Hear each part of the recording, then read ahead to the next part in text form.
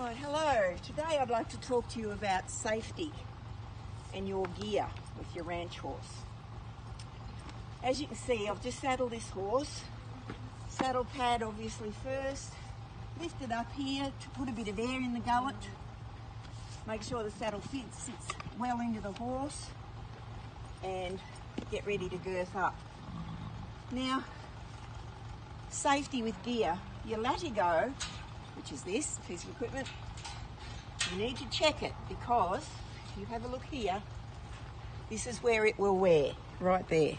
So it sits on the metal ring here and you need to check always because that will break. It's no joy being on a saddle with no girth, trust me. So, make sure you check your equipment, very, very important. Okay, we'll pop around the other side.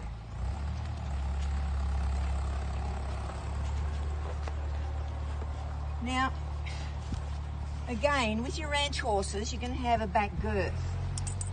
So, how I hook up my saddle, uh, uh, my girth, and the back cinch, get them like that.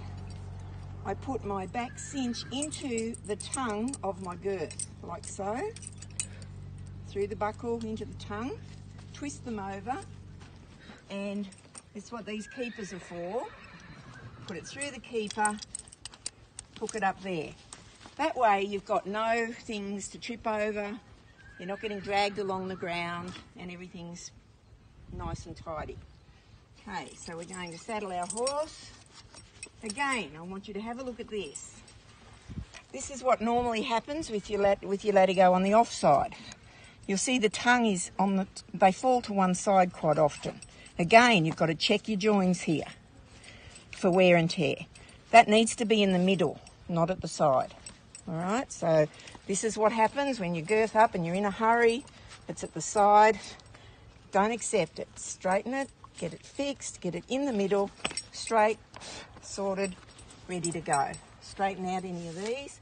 Pull down your your um, breastplate ready to go, and that's when we, we girth up now.